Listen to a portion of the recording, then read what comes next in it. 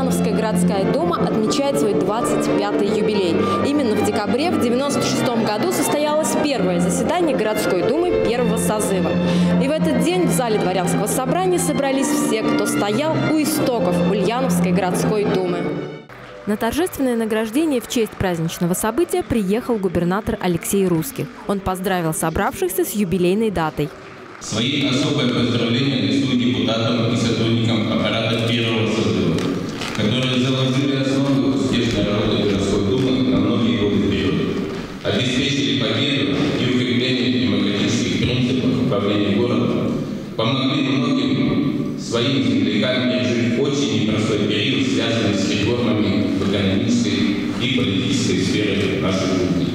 Также глава региона вручил награды за большой вклад в развитие парламентаризма и активную общественную деятельность. Председатель Ульяновской городской думы Илья Ножичкин получил благодарность из рук губернатора.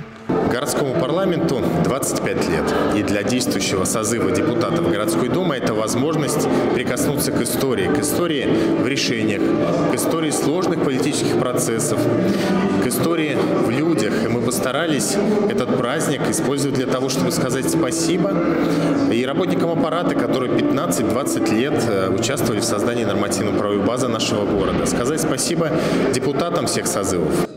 Петр Столяров был награжден одной из высших наград Ульяновской области – медалью почета. В городской думе он является действующим депутатом, трудится более 16 лет, курирует направление градостроительства и дорожного хозяйства. Сегодняшняя медаль это для меня очень много значит, потому что оценка моего труда также оценили и правительство Ульяновской области. Огромные им слова благодарности за то, что вот на сегодняшний день имеем такую э, награду.